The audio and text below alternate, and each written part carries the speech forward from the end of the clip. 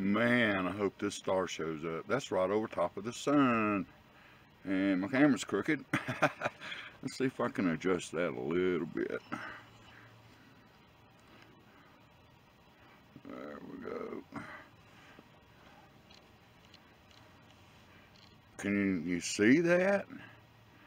Wow. Uh, it's just going to have to be crooked. Here we go. Let's try something here. Oops.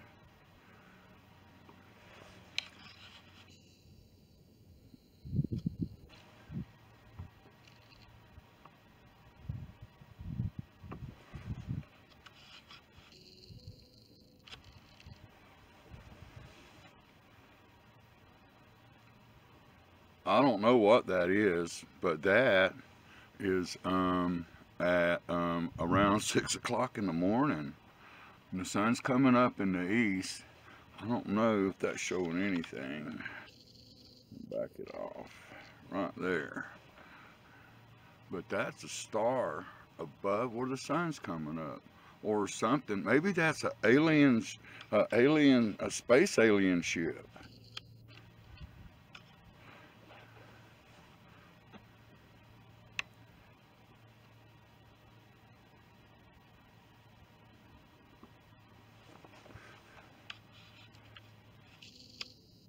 What is that?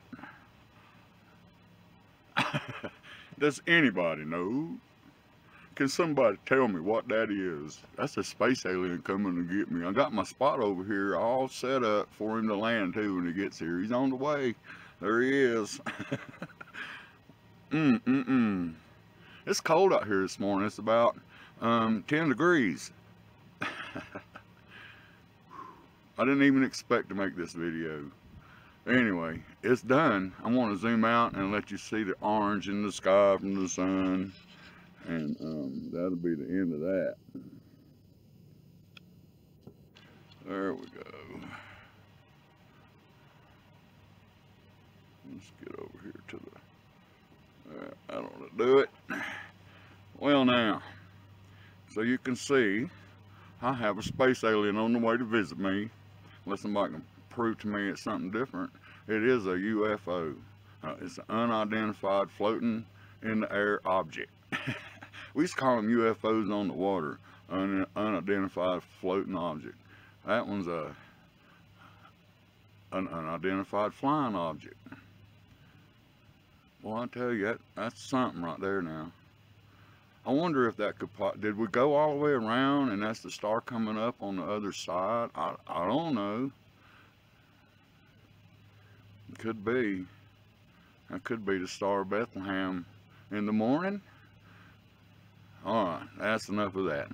And this is Whiskey 5 Sierra Foxtrot Romeo, Bluewater Lake, New Mexico, Area 73. for all the ham guys out there, for everybody else, just Bob. Plain old Bob. Good morning.